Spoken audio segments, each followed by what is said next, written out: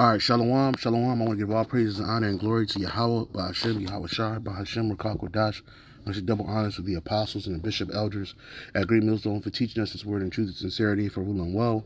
And salutations to my fellow Akim across the four corners of the globe, preaching and prophesying in the name of Yahweh Yahweh Shai. Hey, I'm the brother Gabar Yahweh from GMS Hawaii, and this I'm gonna make this video real quick. This video was inspired by this um, a portion of the street preaching, live street preaching yesterday from the apostles. Okay, and they were going in and they were speaking about uh, the term preacher and, and, what does it mean. All right, and Elder um, Bishop Elder Sakaran, apostles uh, Elder Sakaran, he had, he had also pushed. Um, you know, he was he was reading out of the the Etymon online, so I, I I just looked it up myself, and like Elder Apostle Tahar said, I want to rewind it real quick. Let me play this real quick. Yeah. Um, what? Somebody said he's gay. It wasn't taught. That came about. Okay. You know, woke up to America, man. Yep. This is not the. This is not the great Jose. In Babylon. Yeah, that uh, we gathered. Yes. Okay. Go ahead. It says, Because ye have said the Lord hath raised us up prophets in Babylon. Our lives shall and remain shall be what?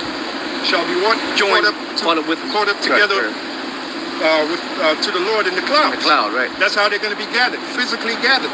Yes. Okay, go ahead. It says, Because ye have said the Lord hath raised us up prophets in Babylon. Yeah, that, uh, what's that bald-headed? I was watching him earlier today. Keith something. So what? What happened to preacher? Why? Why we can't just be preaching? He made that statement. But preacher is a prophet. He said. Right? He said there's no more prophets. Yeah. Oh, oh, well, Yeah, well, that well. bald-head guy. So he said, he said, why can't we just be preachers? Yeah. Well, when you look the word up, you see, that's why you got to think with a scholarly mind. Yeah. When you check words out, dumbass, the word preacher translates into the word prophet. Right. Exactly. Do me a And this is the proof of that. Like Elder Apostle Tahar said, the word preacher translates into the word prophet. You know that one guy said, "Why can't we just be preachers?" You got these, you got these uh, so-called pastors and so-called preachers out here. When they say, "Why can't we just be preachers?" These niggas just be talking out of their heart. They're not prophesying to you about the times that we're coming in and that we're living in and that we have lived in. Uh, unlike the apostles and the bishop elders and us brothers on down, we go out there weekly and do these lessons to let you know that we're prophesying about things that are to come, you know, um, regarding the, the Lord's people as well as the other nations. Okay, that's that's a prophecy, and even uh, Apostle Elder Apostle Gabar, he was he was prophesying out there.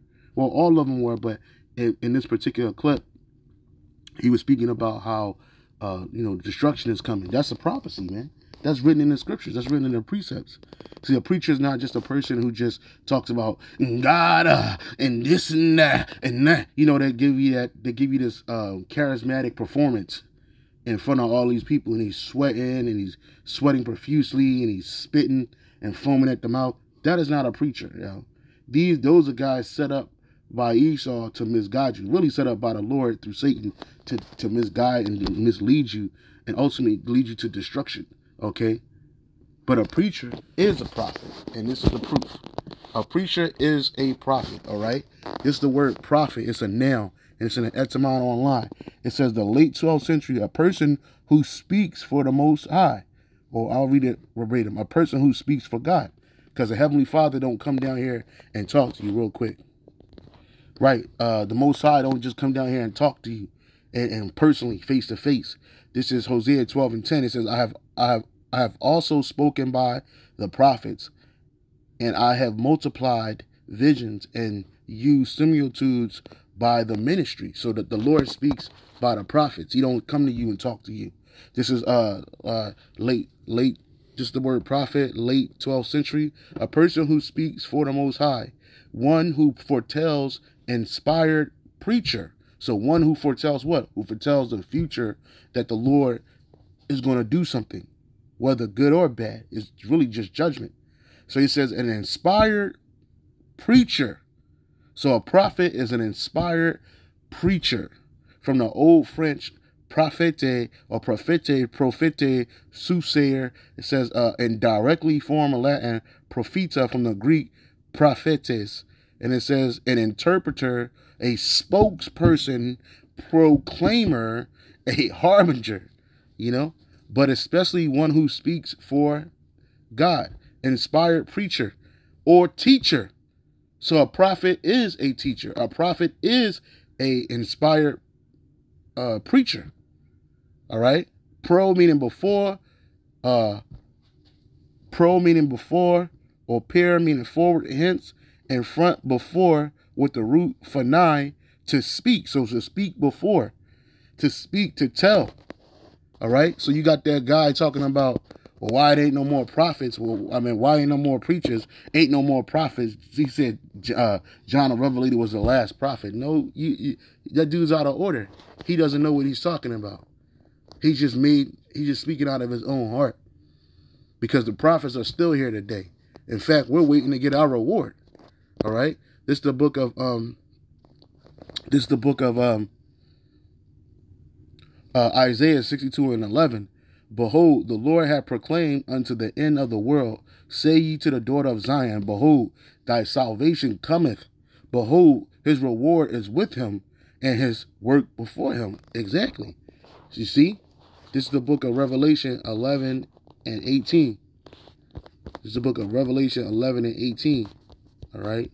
And it says, And the nations were angry, and thy wrath is come, and the time of the dead that they should be judged, and that thou shouldest give reward unto thy servants, the prophets, and to the saints, and to them that fear thy name, small and great, and shouldest destroy them which destroy the earth. Exactly.